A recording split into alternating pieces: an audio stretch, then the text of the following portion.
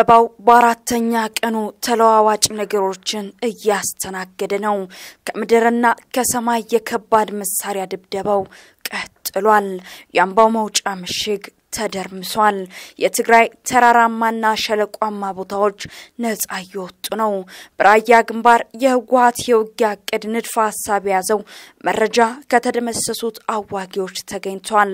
በዋሻ ውስጥ በሳጥን የተቀመጠው የህወሀት ታጣቂ አዋጊ አመራሮች ማንነትን የመለየት ስራው ተጀምሯል። ለቆረጣ የተንቀሳቀሱት ታጣቂዎች ተደምስሰዋል። ያልተገመቱ ቦታዎች በቁጥጥር ስር ውሏል። በተከዜ ሸለቆ የተጠናከረ አሰሳ እየተደረገ ነው። የመገናኛና የጦር መሳሪያዎች ማከማቻ ቦታዎች ተለይተው ኢላማ ተደርገዋል። ነጻ በወጡ አካባቢዎች በርካታ የህወሀት ታጣቂዎች እጅ እየሰጡ ወደ ከተማ እየተመለሱ ነው። ሰላም ጤና ይስጥልን። የተከበራችሁና የተወደዳችሁ የ Ethio News ተከታታዮቻችን ለዚህ ሰዓት የተመረጡ ወሳኝ ግንባርና ተዛማች መረጃዎችን ይዘን ቀርበናል።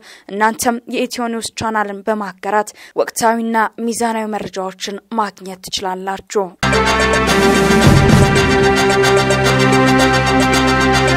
በቅድሚያም ወደ አድዋ ግንባር በአድዋ ከተማ ወደ ተንቤን መስመር የደፈጣ ጥቃት በመፈጸም መንገድ ለመቁረጥ የተንቀሳቀሰ የህወሀት ታጣቂ በቆረጣ ስልት ከጥቅም ውጭ ተደርጓል።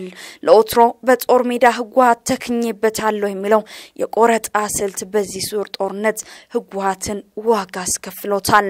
ከአድዋ መውጫ ተራራማ አካባቢዎች በመንቀሳቀስ አውራ መንገዱን ለመቁረጥ ከተንቀሳቀሱት በርካታ የህወሀት ታጣቂዎች በመቶዎች የሚቆጠሩት ተደምስሰዋል።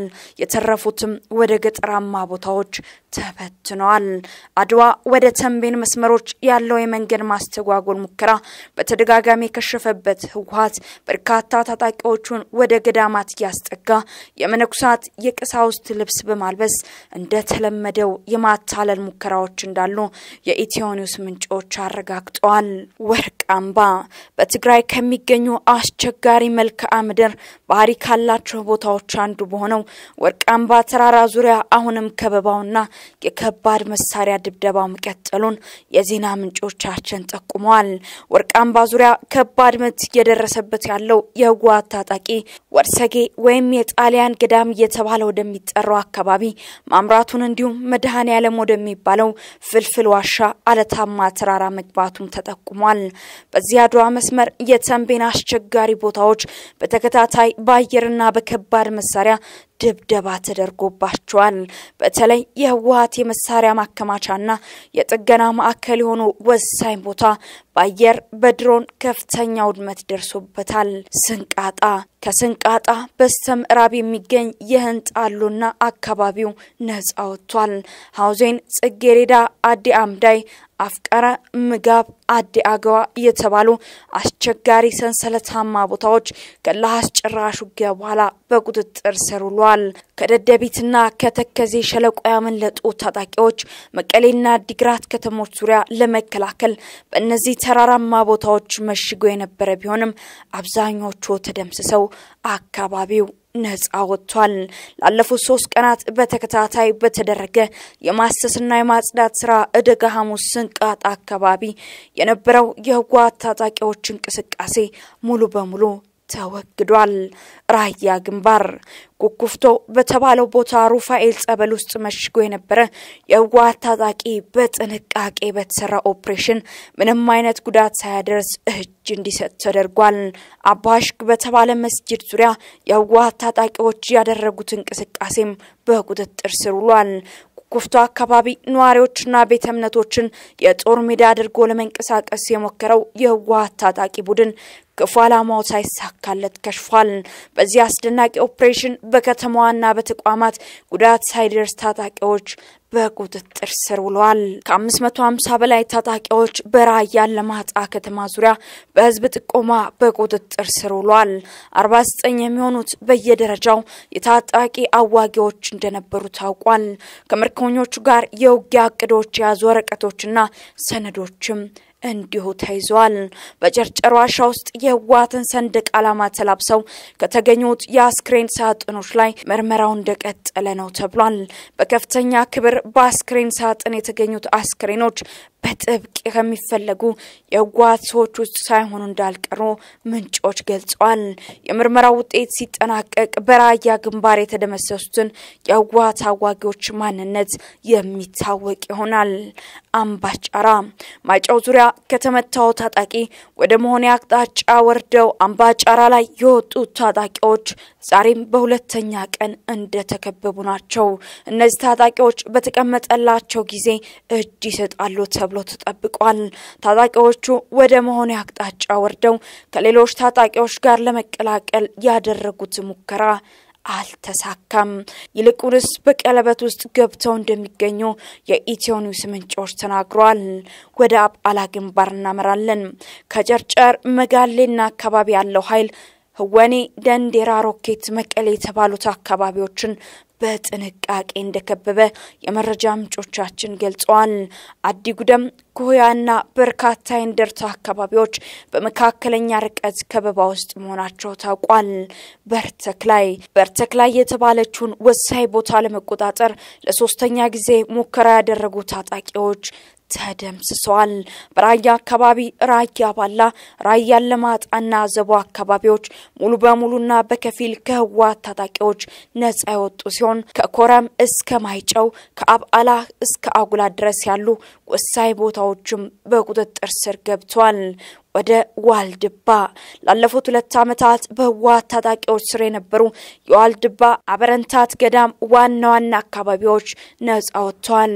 በአይዳ በማይዳ ጉሳ እንሲያና ጀማ ወንዝ መገንጠያ አካባቢ አንበርብር ተክላይ የተባለ የህወሓት አዋጊ ታጣቂዎችን እየመራ እየተንቀሳቀሰ እንደሆነ አክለው ምንጮቻችን ጠቁመዋል። መደማመር፣ መቃብረ ህጻናት፣ አውቆበር፣ ማይዳ ጉሳና አይሆሎ ዳንደሮቃ ጥብቅ ክትትል ተደርጎ አካባቢው መጽዳት አለበት ሲሉ የአካባቢው ማህበረሰብና አባቶች ጠይቀዋል። ህወሓት ከደደቢት አስገደ ጽምብላ ደብረ አባይ አካባቢ ሲመታ ወደ ዋልድባ ዋሻና ጥብቅ ደኖች የተበታተኑ ታጣቂዎችን እንዲያስገባ ነዋሪዎቹ ስጋታቸውን አክለው ተናግረዋል። ላለፉት ሁለት ዓመታት በዋልድባ ገዳም ታጣቂዎች መነኩሳትን ገድለዋል፣ ንብረት አውድመዋል። በአደርቃይና ማይጸብር የሚገኝ የገዳሙ ንብረቶችን ዘርፈዋል ሲሉ ምንጮቻችን አረጋግጠዋል። የኢትዮ ኒውስ አጫጭር ዜናዎችና መረጃዎች ቀጥለዋል። የአገር መከላከያ ሰራዊት ዋና ግቡ በሰሜኑ የአገሪቱ ክፍል በተቀሰቀሰው ግጭት በአሸባሪው ትህነግ የተያዙትን መንደሮች ማስለቀቅና የተወሰኑ የህወሓት አመራሮችን መያዝ ሳይሆን ቡድኑ ሰብአዊ ጋሻ አድርጎ የያዘውን የትግራይን ህዝብ ነጻነት ማረጋገጥ ነው ሲሉ በመከላከያ ሚኒስቴር የጥናትና ምርምር ማዕከል የወታደራዊ ንድፈ ሀሳብ ጥናት ዳይሬክተር ኮሎኔል ሙላት ደሳለኝ አስታውቋል። አሸባሪው ትህነግ በወታደራዊ አቅሙ የትም መድረስ እንደማይችል ዳግም በሶስተኛው ዙር ወረራ ማረጋገጥ መቻሉን ገልጸዋል። ኮሎኔል ሙላት ደሳለኝ ከኢትዮጵያ ፕሬስ ድርጅት ጋር ባደረጉት ቃለ ምልልስ እንዳስታወቁት መንግስት የአንድ ሀገር ሉዓላዊነትን ማስከበር ህገ መንግስታዊ ግዴታ ነው ብለዋል። በሰሜኑ የአገሪቱ ክፍልም የተቀሰቀሰውን ግጭት በዘላቂነት ለመፍታትም ቅድሚያ ሰጥቶ እየሰራ ይገኛል ሲሉ ገልጸዋል። የመከላከያ ግብም አሸባሪ ቡድን ይዟቸው የነበሩትን መንደሮች ማስለቀቅና የተወሰኑ አመራሮችን መያዝ ሳይሆን ሰብአዊ ጋሻ አድርጎ የያዛቸውን የህብረተሰብ ክፍሎች ነጻነት ማረጋገጥ ነው ሲሉም ተደምጠዋል። በመጨረሻም የዓለም አቀፍ ቀይ መስቀል ኮሚቴና የተባበሩት መንግስታት ድርጅት ሰብአዊ ጉዳዮች በኢትዮጵያ ቀይ መስቀል የአምቡላንስ ሹፌር ግድያ የተሰማቸውን ሀዘን ገልጸዋል። በኢትዮጵያ ቀይ መስቀል ማህበር የሰሜን ጎንደር ቅርንጫፍ አምቡላንስ ሹፌር አቶ መንግስት ምኒ ላይ በደረሰው አሰቃቂ ሞት ድንጋጤና ጥልቅ ሀዘን እንደተሰማው የዓለም አቀፍ ቀይ መስቀል ኮሚቴ ገልጿል። በሰሜን ኢትዮጵያ ግጭት በተከሰተበት አካባቢ በስራ ላይ ያሉ ነው የተገደሉት ያለው ኮሚቴው ሀሳባችንና ጥልቅ ሀዘናችን ከሟች ቤተሰቦች ከኢትዮጵያ ቀይ መስቀል ማህበር ሰራተኞችና በጎ ፈቃደኞች ጋር ነው ብሏል። በዓለም አቀፍ የሰብአዊነት ህግ የሕክምና ሰራተኞች፣ ሆስፒታሎችና ሌሎች የሕክምና ክፍሎች እንዲሁም አምቡላንስና ሌሎች የሕክምና መጓጓዣዎች ለሕክምና ተግባራት ወይም ዓላማ ብቻ የተመደቡ በማንኛውም ሁኔታ ሊከበሩና ሊጠበቁ ይገባል ሲል ገልጿል። ኮሚቴው በሕክምና ሰራተኞች በቀይ መስቀልና ቀይ ጨረቃ እንቅስቃሴ ሰራተኞች ላይ የሚደረጉ ጥቃቶችና የቀይ መስቀል ወይም ቀይ ጨረቃ አርማ የሚያሳዩ ነገሮችን ማጥቃት የተከለከሉ ናቸው ብሏል። የእርዳታ ሰራተኞች የጥቃት ኢላማ አይደሉም ሲልም አክሏል። በተመሳሳይ የተባበሩት መንግስታት ድርጅት የሰብአዊ ጉዳዮች ረዳት ዋና ጸሐፊና የአስቸኳይ ድጋፍ አስተባባሪ ማርቲን ግሪፊትስ ግድያውን አሰቃቂ ሲሉ ገልጸው ለአቶ መንግስት ቤተሰቦችና በዓለም ላይ እንዲሁም በኢትዮጵያ ለሚገኙ የአይሲአርሲ ሰራተኞች በሙሉ መጽናናትን ተመኝቷል። የኢትዮጵያ ቀይ መስቀል ማህበር አቶ መንግስት ምኒል በትግራይ አድዋ በግጭት የተጎዱ ሰዎችን በማገዝ ስራ ላይ ያሉ በታጣቂዎች በተፈጸመ ጥቃት መገደላቸው ማሳወቁ አይዘነጋም። የተከበራችሁና የተወደዳችሁ የ Ethio News ተከታታዮቻችን ለዚህ ሰዓት የተመረጡ ወቅታዊ መረጃዎቻችን እነሆ የተከታተላችሁትን ይመስል ነበር። ሌሎች ፈጣንና ወቅታዊ መረጃዎችን ለማግኘት Ethio News ን subscribe ማድረግ አትርሱ። በያላችሁበት ሰላም